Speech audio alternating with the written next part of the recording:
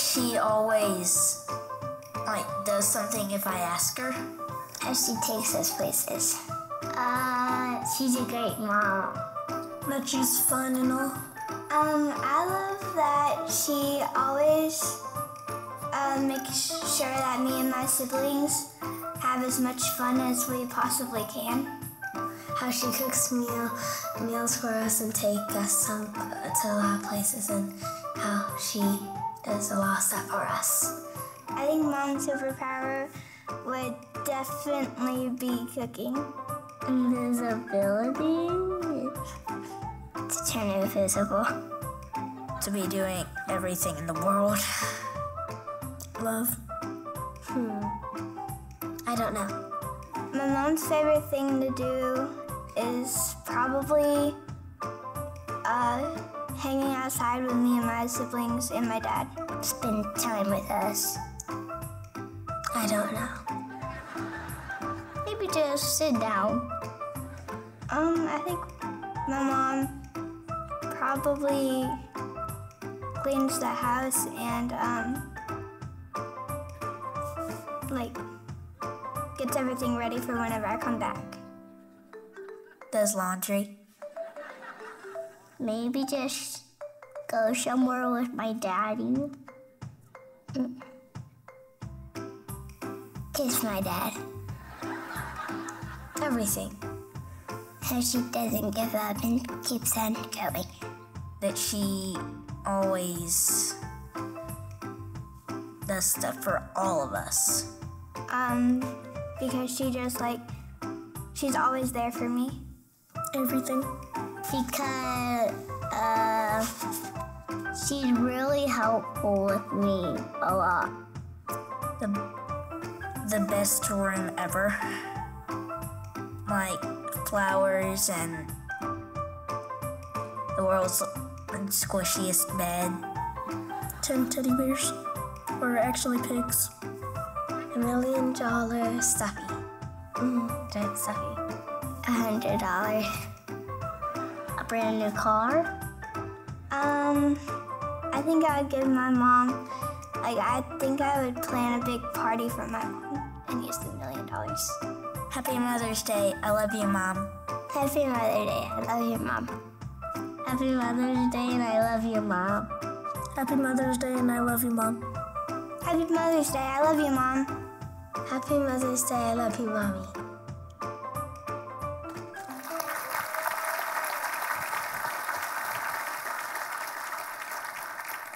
Come on, let's say it together. Happy Mother's Day. Yeah. You heard from just a few of them. We had to edit out a lot, uh, but uh, you heard from a few there this morning. Well, good morning, everyone, and happy Mother's Day to all the mothers, all of you that are watching us online today. Hi, I'm Gary, my wife Rose, and we're glad to have you here as a part of one of many of our Discover Life uh, services here on the weekend. If I haven't got to meet you, I'd certainly love to. Uh, get to meet you, hear your story, and thanks again for coming and sharing this wonderful day with us. You know, I, before we get into the message, I wanted to share something about Mother's Day. We have the opportunity to celebrate mothers, and I know that in this room today, we've got a wide variety of mothers of all ages. Young mothers, we've got grandmothers, great grandmothers. We may even have some great great grandmothers in the room today. You know, I have the privilege for one more year to celebrate Mother's Day with my mother. I'll do that this afternoon. I already got her some flowers, and Rose bought her some candy and, and some cards we'll give her and just spend some time with her. She's 89 years old, uh, soon to be 90. Rose and I are her primary caregivers. Um, so we spend a lot of time with her.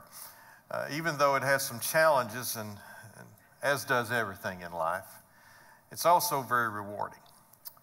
And uh, I'm glad that I have one more year to do that as well.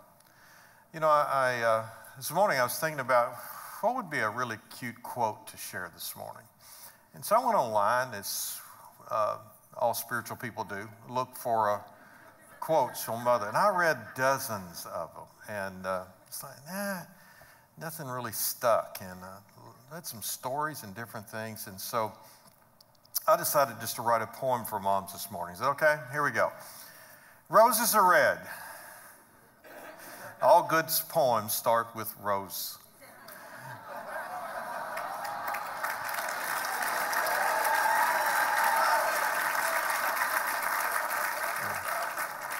When you're on, you're on. Okay. Roses are red, violets are blue. We all have a mother who really loves you. There are many things that she gave us while we were learning and growing and getting into stuff. She gave us a hug and wiped away our tears when we fell off our bike when we had no fear. She gave us a scolding when we disobeyed or when we disrespected the love that she gave. She also provided so many, many things that we needed so much, but we never said thanks. We grew through the years so quick and so fast, she couldn't believe that our childhood didn't last. As we started our lives with our own families, she continued to love us unconditionally. Yes, I know she made some mistakes because I've made them too, and so have you. But when it comes down to loving you so much, there's nothing like a mother's touch. Happy Mother's Day, moms.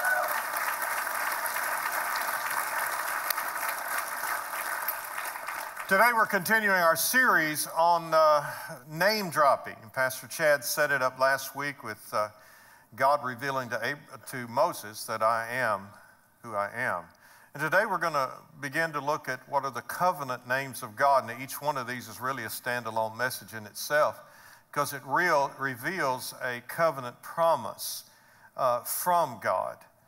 You see, there's, there's probably no compound name of God more celebrated, known, and referenced than the one we're dealing with today and we've already sang about today. And that name is Jehovah Jireh. Say it with me Jehovah Jireh. Now, when God uses a compound name all throughout the Bible, He's usually addressing a situation in life. Something is going on in someone's life or circumstance that God wants to reveal Himself through that circumstance. You may have heard that Jehovah Jireh means my provider, and that is correct, but the meaning is much deeper than that. See, Jehovah Jireh is interpreted from the original text, and by the way, that's not the original Hebrew, that's just the English version of what we use, Jehovah Jireh. From the original text, it's, it's translated Jehovah will see it, or Jehovah will provide, or Jehovah will be seen. For God is seen to be seen is to provide. Our own English word provide is Latin for to see. So, have you ever heard someone say, Well, see to the matter? You ever heard that? Or I'll, I'll see to it. Well, that's, that's the inference here with Jehovah Jireh. Our Heavenly Father sees our need and with divine foresight of love prepares the supply. He sees to a need to supply it. And in the seeing, he is seen, or he reveals himself, or he manifests himself through providing. See, God is not a, something I want you to understand, though. When we talk about God, Jehovah Jireh being our provider, he's not a spiritual vending machine. You need to understand that the, the same God who reveals himself as our provider said in 2 Thessalonians 3.10, if a man doesn't work, he doesn't eat. So, so there's a balance in that. God's not a spiritual vending machine that we just go up and say, oh, Jesus, I need, I'm, I'm overdue on this balance, I need this. No, no, no, no, no. It's, it's much deeper than that. God supplies what you need to accomplish His will in your life. Now let's read a story together to get a clear understanding of what's happening where God first reveals Himself as Jehovah Jireh. It's found in Genesis 22, 14 verses, but we need to catch the story, and here it is. Now it came to pass after these things that God tested Abraham. Everybody say tested. And said to him, Abraham, and he said, Here I am. He said, Take now your son, your only son Isaac, whom you love, and go to the land of Moriah and offer him there as a burnt offering on one of the mountains, which I'll tell you. That's tough. So Abraham rose early in the morning and saddled his donkey and took two of his young men with him and Isaac his son, and he split the wood for the burnt offering, and he arose and he went to the place of which God had told him. And then on the third day, everybody say third day, because that's important. We're going to look at that in a minute. Abraham lifted up his eyes and he saw the place afar off. It took him three days to walk there. So Abraham said to his young men, the two that went with him, Stay here with the donkey. The lad and I will go yonder and worship, and we, everybody say we we will come back to you. That's very important. So Abraham took the wood, the burnt offering, and he laid it on Isaac his son, and he took the fire in his hand and the knife, and the two of them went together. But Isaac, now he's probably a teenager at this time, much like the boys, young men that were standing up here a minute ago. Isaac spoke to Abraham, his father, and said, My father. And he said, Here I am, son. He said, Look, the fire, the wood, but where's the lamb for the burnt offering? I mean, he knew, he knew what offerings were. He knew you had to have a lamb. Abraham said, My son, God will provide for himself the lamb for a burnt offering. So the two of them went together. And then they came to the place of which God had told him, and Abraham built an altar there, and he placed the wood in order, and he bound his son Isaac, and he laid him on the altar on the wood. And Abraham stretched out his hand with a knife to slay his son. But the angel of the Lord called to him from heaven and said, Abraham, Abraham. So he said, Here I am. He said, Do not lay your hand on the lad or do anything to him. For now I know that you fear God, since you have not withheld your son, your only son, from me. And then Abraham lifted up his eyes and he looked, and there behind him was a ram caught in the thicket by its horns. So Abraham went and looked, took the ram, offered it up as a burnt offering instead of his son. In verse 14. And Abraham called the name of the place, The Lord will provide, or Jehovah Jireh in the original text, as it is said to this day, in the mount of the Lord it shall be provided. Holy Spirit, I pray over the next few minutes that you will speak life to every one of us here today. May we, our eyes be opened to your word and to life and to the revelation of your word as how it applies to our lives in Jesus' name. Amen. Now, all of the covenant names of God reveal to us what's available to us, his children. But we have to position ourselves for that. It's not an automatic. We have to be in a position to receive that promise from God. And it's received primarily by faith. Let's look at Abraham's experience and how Abraham got to the point where God revealed himself as Jehovah Jireh. First of all, everybody say test. I had you to repeat that earlier today. Tested. Verse 1 Now it came to pass after these things that God tested Abraham. And he said to Abraham, here, him, here am I. This was a test. When God reveals himself to you and I, it's usually because we're going through something. It's a test, a challenge, a difficulty, a problem, a disaster, a tragedy. Something on a level that gets our attention, we don't know what to do. God said, I want you to give the most precious thing you have. See, God had promised that He would make Abraham a great nation, and Isaac was his dream, his only son. And for him to ask Abraham to sacrifice him did not make sense. How could God make a great nation out of a dead boy? See, here's the thing we need to learn. When you're going through something that doesn't make sense, just hang in there because God's about to reveal His name to you. Don't, don't run, hang in there. It may not make sense, but hang in there. See, faced with the choice of blessing or the blesser, Abraham made the right choice. Because, see, Isaac was the blessing, but God was the blesser. Sometimes we get so attached to the blessing that we miss out on the blesser. We get so enamored with the blessings of God that we miss out on the one that gave us the blessings. There's a story that you tell children about a goose that laid a golden egg. Anybody ever read that story? Well, if I had the goose here today and a golden egg, which one would you pick? If you're smart, you'd pick the goose because he keeps on laying eggs every day. You get one golden egg, that's it. But that's and that's where people live many times. They're so focused on the blessing that they forget the blesser is more important than the blessing. Blessings come and go, but the blesser is eternal. And so what God is doing here, he's, he's also he's testing Abraham to see if Abraham recognizes what's most valuable to him, his relationship with Isaac or his relationship with God. God's putting Abraham in a situation that only God could fix. It's when you see a situation that only God can fix, then run to God, not from God. Don't blame God, bless God. Don't curse God, praise God. I don't know why God let this happen to me. Stop. Stop in that moment and run to the Father. The first thing is a test, and I could spend literally days. I'm, I'm actually writing a book on test right now but literally days on tests. I face everything in life that comes my way, I consider it a test. I don't, is it an attack from the devil? Is it, is it a, te- it didn't matter. It's a test. And am I going to pass it? And a test does two things it reveals what you know and what you can do, and what you don't know and what you can't do. The first thing in moving toward Knowing God deeper is passing tests. The second thing is in verse 3, it's immediate obedience. Say that with me immediate obedience.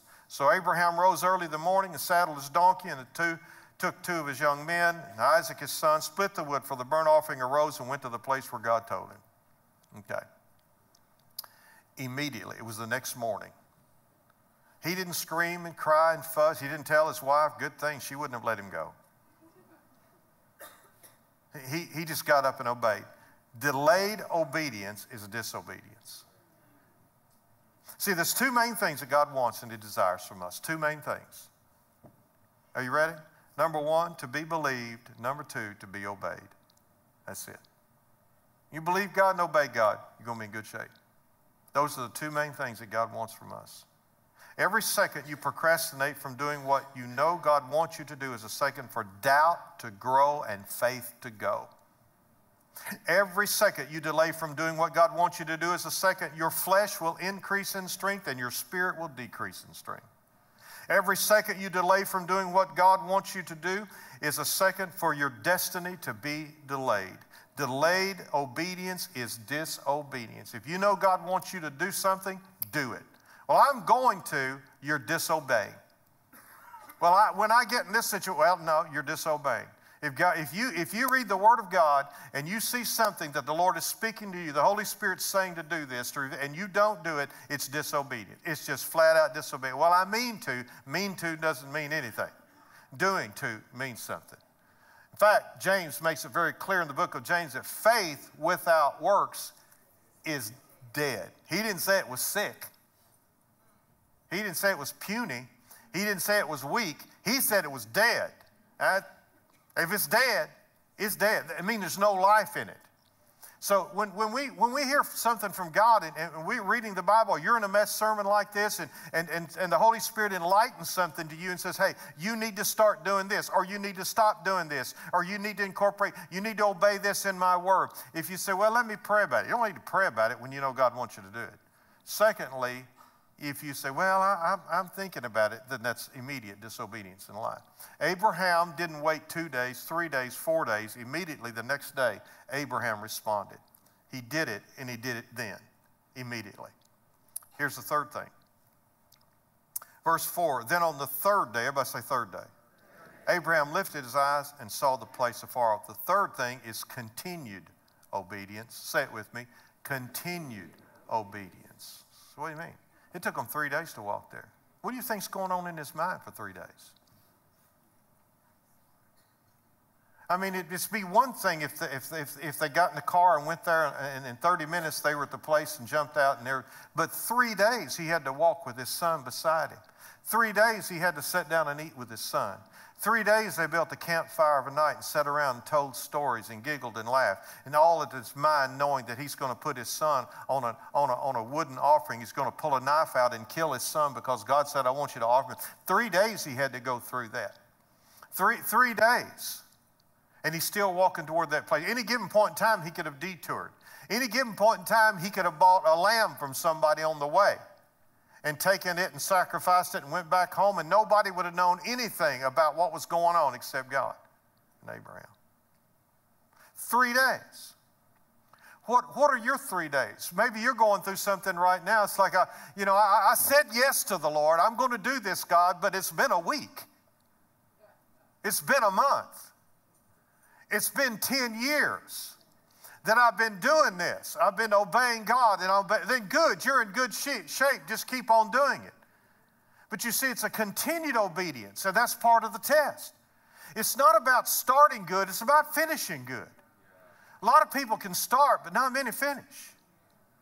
A lot of people, preachers in ministry, uh, businessmen, businesswomen, moms, dads, life itself, husbands, wives, Starting good's one thing, but finishing, man, you got to go through some stuff to finish.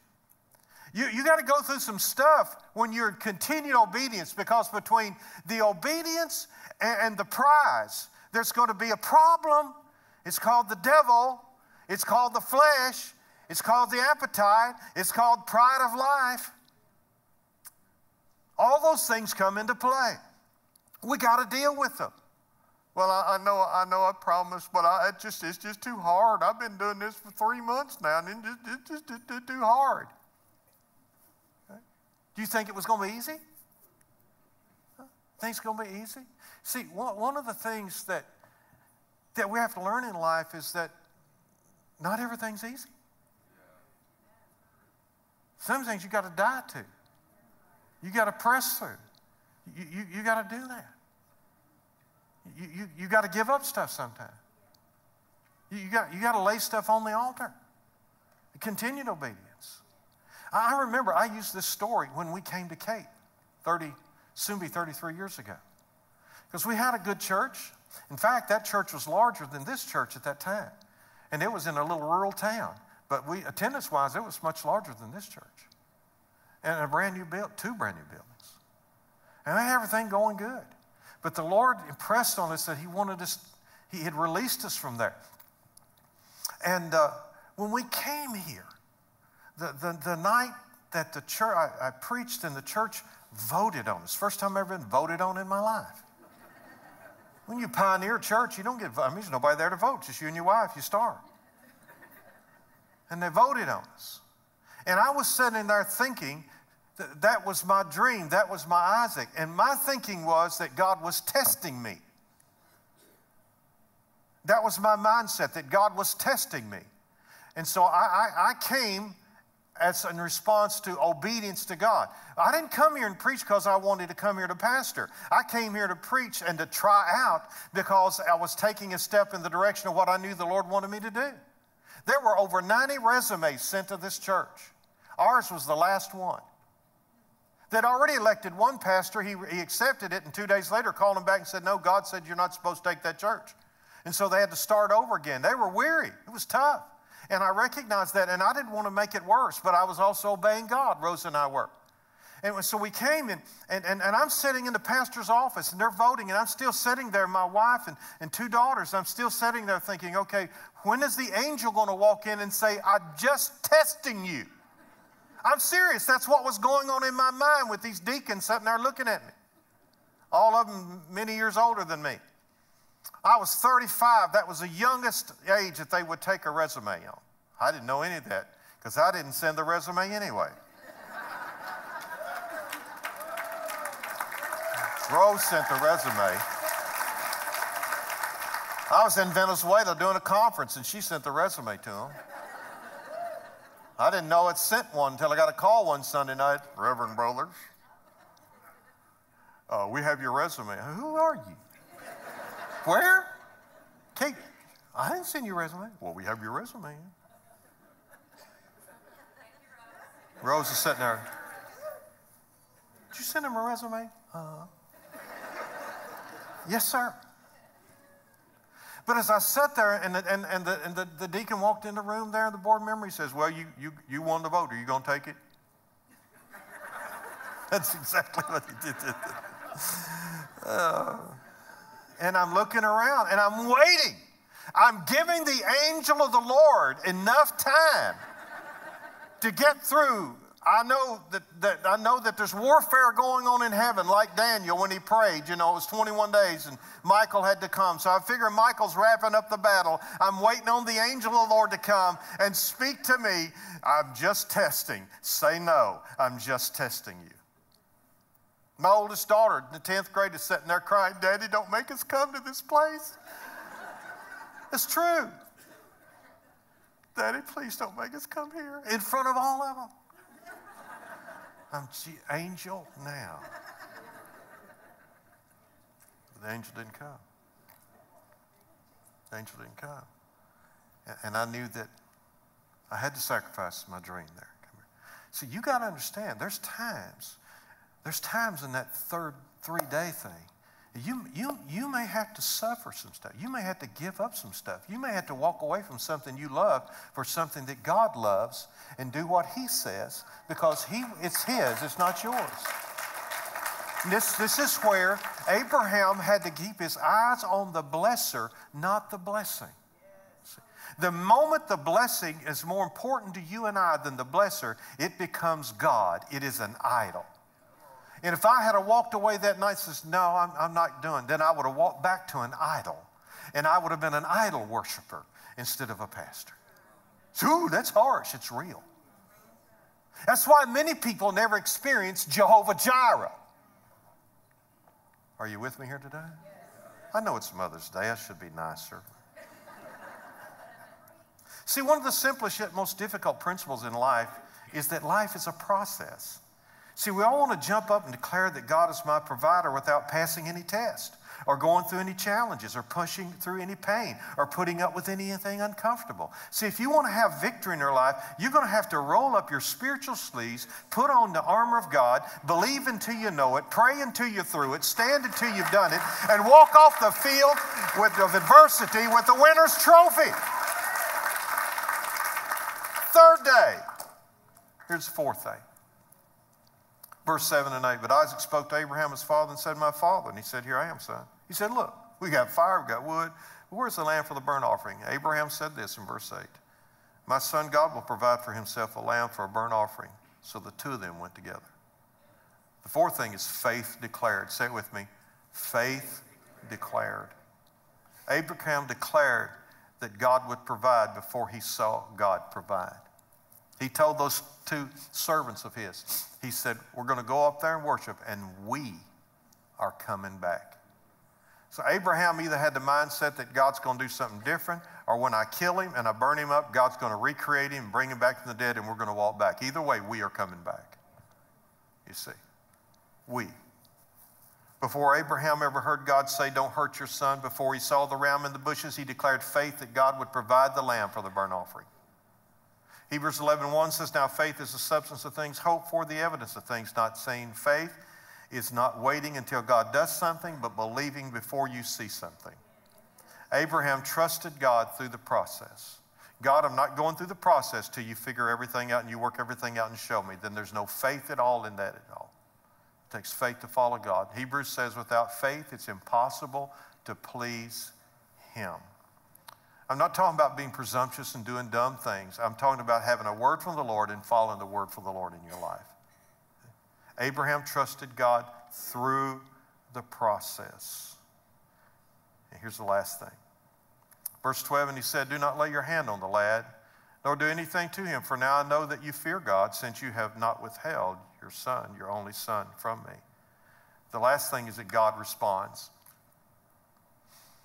Charles H. Spurgeon, the great preacher of old, one time shared this in a message. It's an excerpt from a poem. I don't know if he wrote it or someone else, but here's what he said Just in the last distressing hour, the Lord displays delivering power. The mount of danger is the place where we shall see surprising grace. See, what many people fail to recognize is that this story is not just about God revealing his covenant name of Jehovah Jireh to Abraham. But it's about revealing that God saw the need for mankind for a Savior and had a plan to provide salvation for all mankind. Because only a few hundred yards, possibly, from that spot was another mount called Calvary. And Jesus took his only son and put it there because Abraham was willing to take his son to that place. It was in John chapter 8 that Jesus was debating with the Pharisees. It said in John 8 56, Your father Abraham rejoiced to see my day, and he saw it and was glad. How, how, did, how did Abraham see his day? How did Abraham, hundreds of 400 or so years previously, see the day of Jesus? He lifted up his eyes because Mount Moriah is in view of Mount Calvary. And just as Isaac was put on the altar 2,000 years ago, Jesus was put on the altar for us. Just like Isaac was given back to his father, Jesus was given back to his father in heaven. You see, God sees our need today. In Matthew 6:32, Jesus said, For your heavenly Father knows that you need all things. And in verse 33, he gives us the key to receiving all things that we need. Seek first the kingdom of God and his righteousness, and all these things will be added to you. All these things. That's it. That's the key. The Jehovah Jireh. Seek first the kingdom of God and his righteousness, and all these things will be added to you. One of the things we have to understand And this is why so many people live a superficial relationship with God.